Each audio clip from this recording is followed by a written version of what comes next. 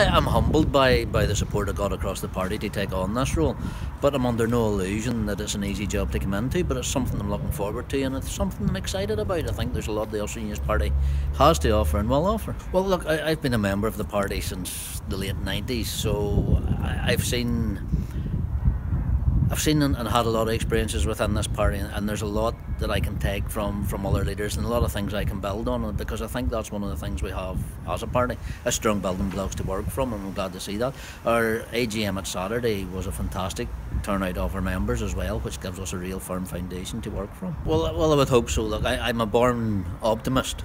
So I'm, I'm holding out that, that glimmer of hope that there still can be some agreement by Friday because I'm a firm devolutionist and, and I feel there's a real need for a devolved assembly in Northern Ireland. It's the only thing that can deliver for our own people, and I, do, I don't say that just as a soundbite.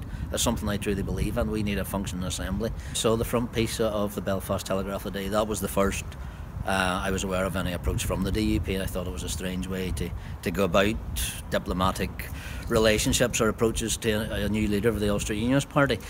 But I'd rather the focus was on the next five days. I was rather the, the, focus was on trying to get the assembly up and running again and delivering, as I said earlier. They start focusing now on another election or, or on pacts. actually sends a signal out that they've disengaged from, from these talks, and I think that's where we need to be focused at this minute in time.